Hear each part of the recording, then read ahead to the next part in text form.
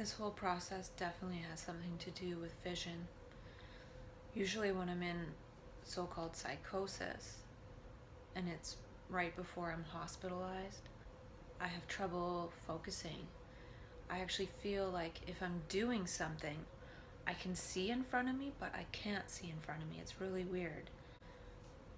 I feel actually blind, even though I can actually see. And maybe that's part of it actually, is that when we're in our ego consciousness, we're blind, but we can see. And that's why when I'm coming to the end of the process, when I'm reconnecting with the ego way of perceiving, which isn't perceiving at all, it's recognition.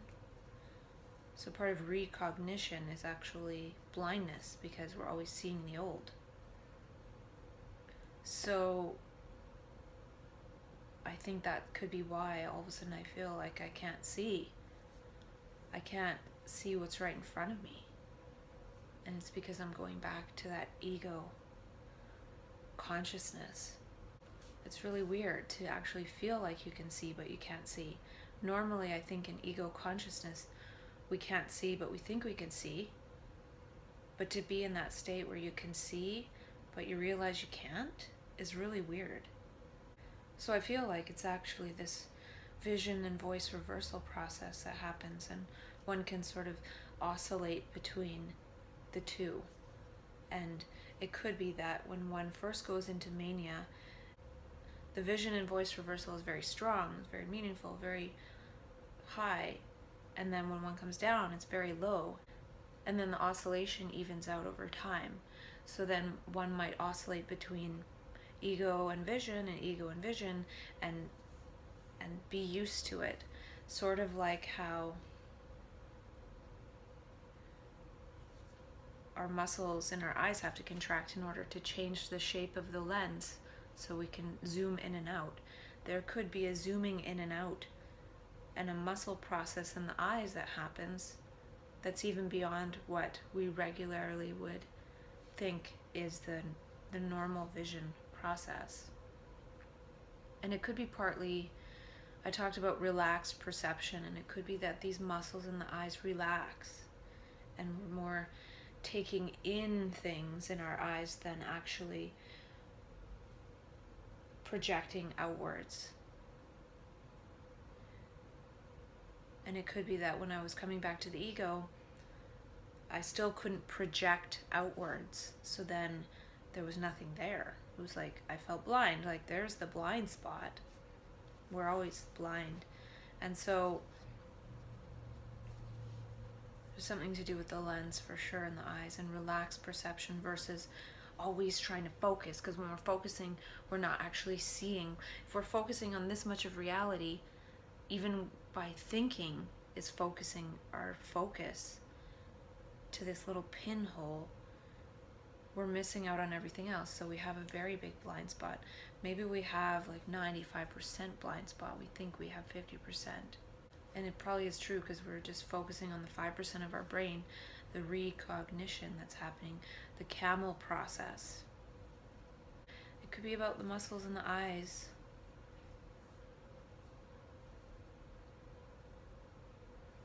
And as that wave comes in and takes one over, I've experienced each time I've gone into so called psychosis, map consciousness, trance consciousness, that it gets easier each time.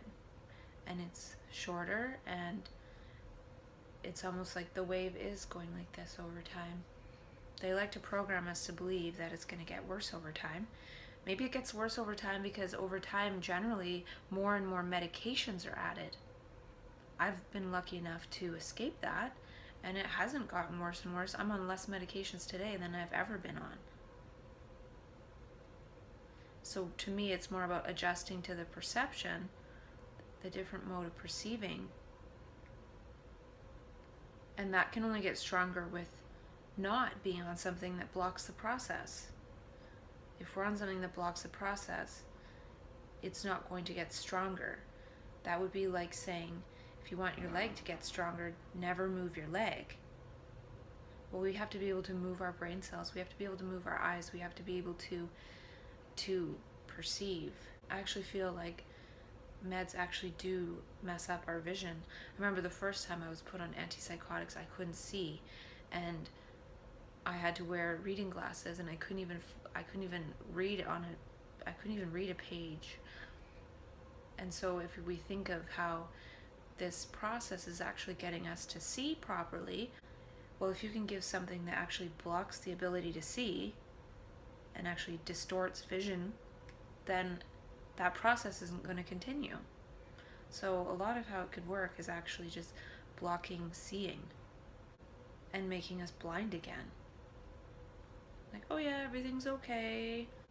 I don't have to change anything. Only vision can change the world.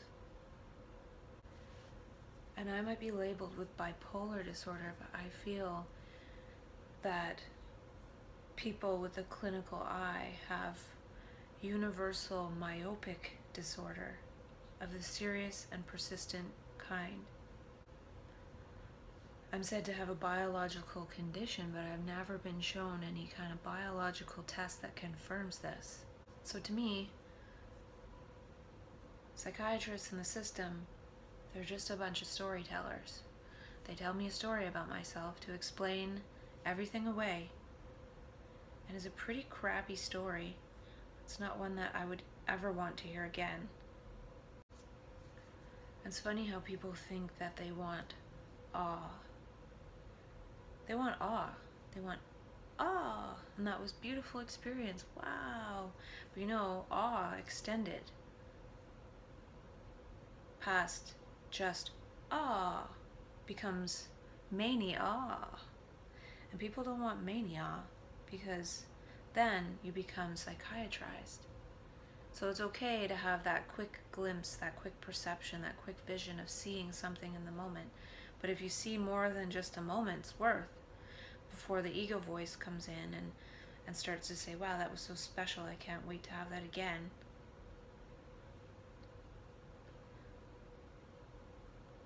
Then you will be medicated. So be careful what you wish for.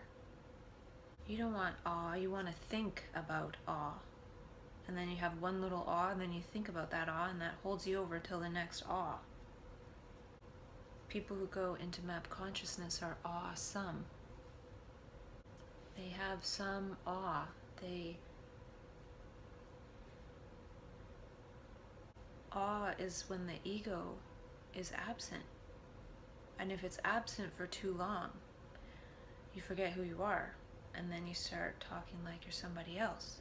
And when you start talking like you're somebody else, you might be captured and labeled and drugged. So be careful of all. Imagine if we were all saying out loud what we were thinking in our head. We wouldn't go out in public. And likely most of those thoughts are not anything related to awe. So when we have this constant stream of non awe, how do we expect to experience awe? It's because we want a certain experience of awe that we miss awe. Because awe is always something different. So even if we do have a moment of awe, forget it and move on. I was talking to a friend about raw food and cooked food the other day, and I was thinking that a transconscious brain is kind of like a raw brain, and an ego brain is sort of like a cooked brain. It's fried. It's fried with the wires in it. I feel like map consciousness and transconsciousness changes what we're tuned into. So we're no longer tuned into the wires of the ego. We're tuned into everything. It's like we have infinite little antennas in our brain for anything and everything instead of a few big, deep wires of desire. And we really want richness, we really want change. Yet change only happens in the brain. And when we're wired, we can't change. And then when we're wired, we think that we're this me, which is the wiring, And then we think that the me has to do something to change the wiring, so it tries to do something to change the programming instead of just being and seeing. We treat our brain like it's a muscle, like we have to contract it in order for it to work, in order for it to be held up. But it's more like connective tissue, it's more like a fluid matrix, it's for seeing connection. So we have to tune into something else. And then we see we don't make the rules. But when we're in tune, we might uncover the rules and be able to play with those other rules and then master them. Master this other energy that moves us. To me, map consciousness and trance consciousness is like reverse flow. So there's people trying to learn how to get into flow. They're sort of learning the rules to get to flow. Whereas people who go into map consciousness spontaneously go into flow to learn the rules. So you can either be ego consciousness and sort of progressively learn to train oneself to exist in those other rules?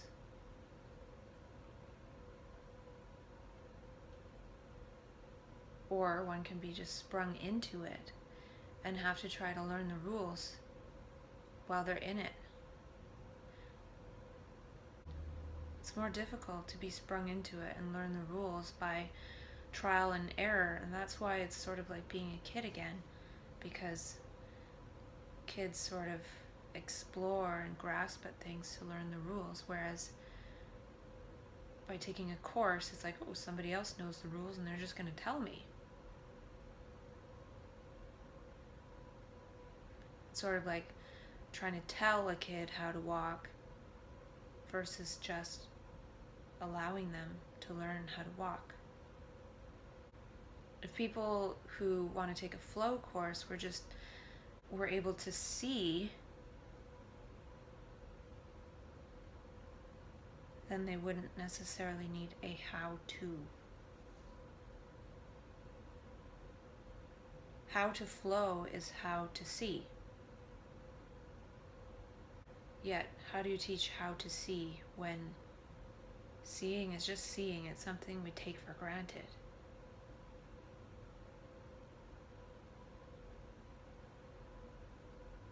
We think we see, so we think therefore we don't see. We're looking for ourself outside of ourself.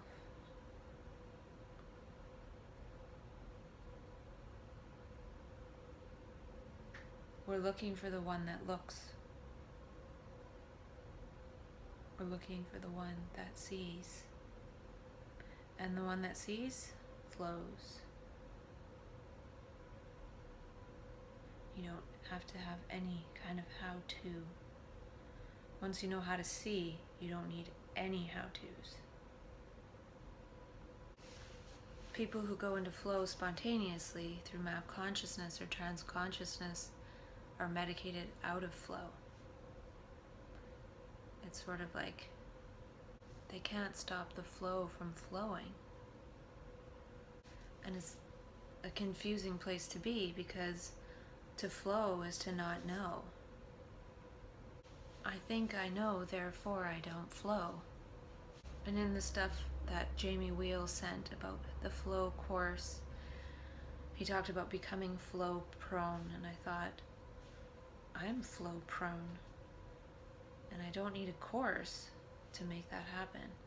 What if people who are diagnosed with a mental illness just saw themselves as prone to flow? People with ego consciousness are prone to know and therefore say no to flow. It's not necessarily how to get into flow. It's to see and then see that we are flow. Right now, we're a flow of words in our head. We're a flow of abstractions, which is a distraction from the flow.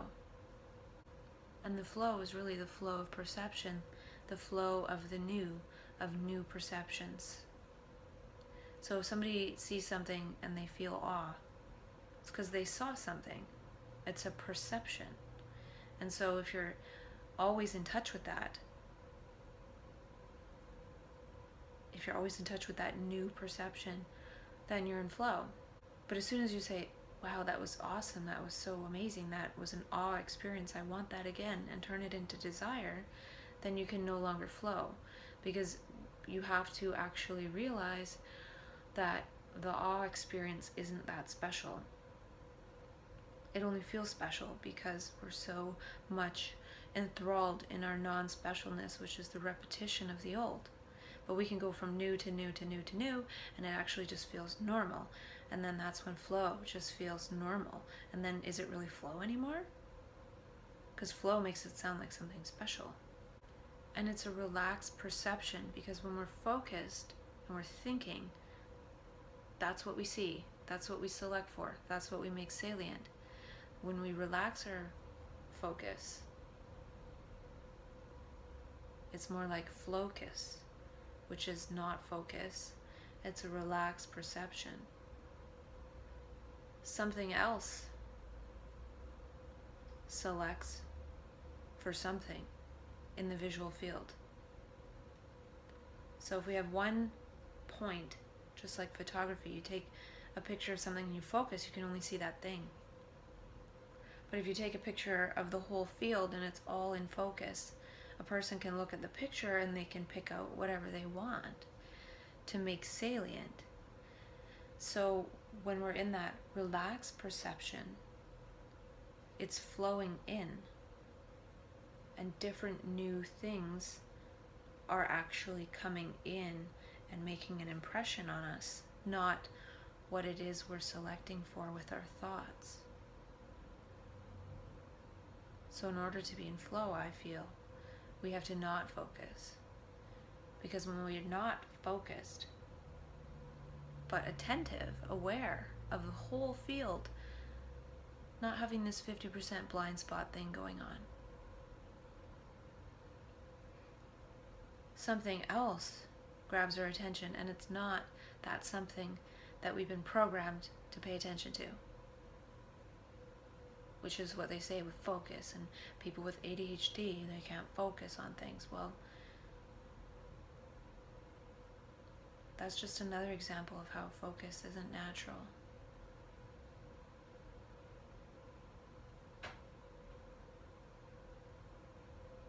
Nature doesn't focus, it becomes expansive, it becomes more complex, it becomes more beautiful. When we specialize, we no longer have special eyes. We don't have the eyes that can see anything and everything. If we're not in relaxed perception, if we're not in silence, if we're hearing words, that's focusing our perception. That's focusing our eyes. Those words in our head actually change the structure of our eye muscles and focus and actually project an image out into space, which interferes with being able to see what's actually there. And if we can't see what's actually there, we can't flow. And that's one of the ways I think that those athletes are able to get in flow is that they really have to see what's there. Because if they don't, they're not going to be an extreme athlete but they have to go to those extremes in order to put themselves into a position where they have to actually see where they are and they call that focus but i wouldn't call that focus. You have to actually have an expansive visual field to actually take in all the information to be able to surf the big wave. If you have a focus you're focusing on one drop of water you can't surf. And who is the one that focuses us? It's thought it's programming it's the past. And if that is in existence, we can't see the present moment and we can't flow. So it's not about how do I get into flow. It's how do I change the way I see? Or do I see that I don't see? And when I see that I don't see, I see. And when you see something and you understand something, it gives your brain energy to grow new brain cells. We need to understand our brains in order to fully stand under it in the field of consciousness and in the field of gravity. This other way of seeing, being, and not meing gets us into the flow. The me can't flow, it can only know what it knew, and that prevents the new. And the thing is, sometimes when we see a new, we come across as a completely different person. And then other people around us are alerted. And the ego voice warps our eyes to get us focusing in this in the wrong way. We're actually projecting an image outward because we're often caught in the images in our mind and that's overlaid on the external as opposed to letting the light come in and create an impression which is invisible. You can't even see it, but you understand it. And then that creates a different voice. And part of my point with comparing this flow thing to mental health challenges and illnesses and all that, so called, is that if flow is seen as valuable, a person that goes there through map consciousness should be seen as going into a valuable state and having a valuable experience and a transformative experience. Steven Kotler says flow heals the brain or flow heals the body. Flow healed his Lyme disease. By surfing, it healed his Lyme disease. Well, through surfing consciousness and surfing the universe, it's actually healing our brains. It's actually creating new brain cell growth. It's, at first, it's not fully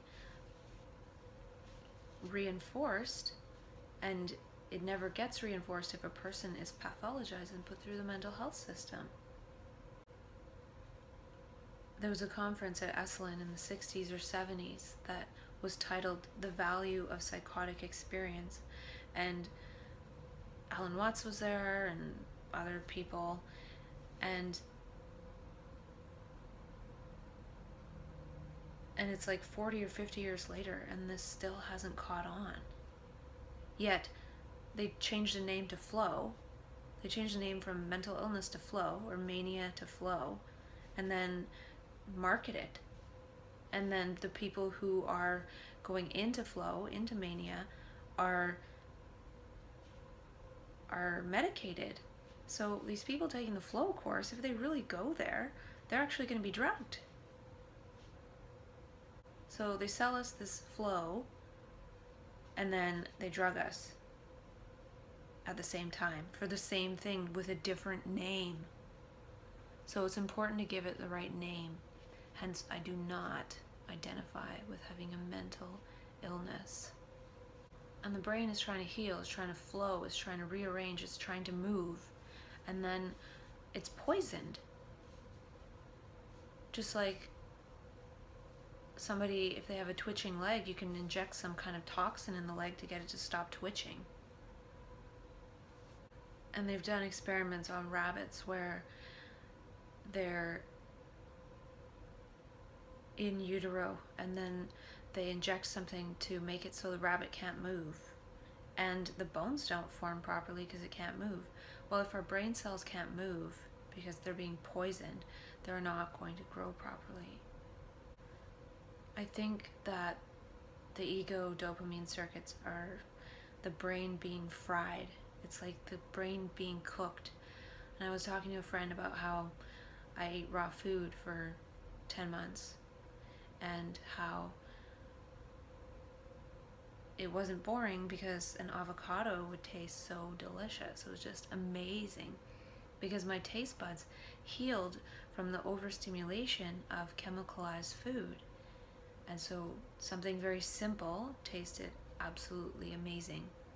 And since our brains have been cooked and chemicalized by all of this false stimulation, we need more and more of it to actually taste anything with our dopamine brain.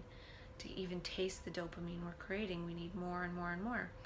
Well, this transconscious process cleans the brain in a way and it switches it from being dopamine dominant and it probably creates these inner neurochemicals which not just feel better, but are actually the conditions necessary for the other brain cells and the other areas of the brain to grow and take hold and sort of overgrow the weed, the invasive species of the dopamine circuit.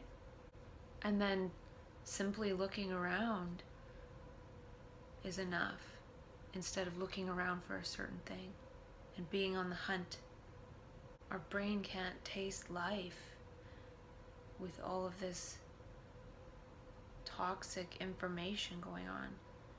It's turned our brains into toxic information receivers instead of natural enjoyers of simplicity, which isn't boring. It's it's actually very complex. It's natural, but it's beautiful. And this simple perception, which is rich, is actually what's needed to restore the earth because in our simplicity of seeing, we see the natural beauty and complexity that Gaia is producing and allow that to unfold just as much as we harvest things to create our human structures, which actually reduce the complexity. So, our simple perception is needed to restore the complexity of the Gaia sphere. And the whole picture sounds strange to ego consciousness. When we perceive, when we see, the whole picture is given voice to, and it almost sounds like a stranger. Like, who is this talking? When it's actually our real voice.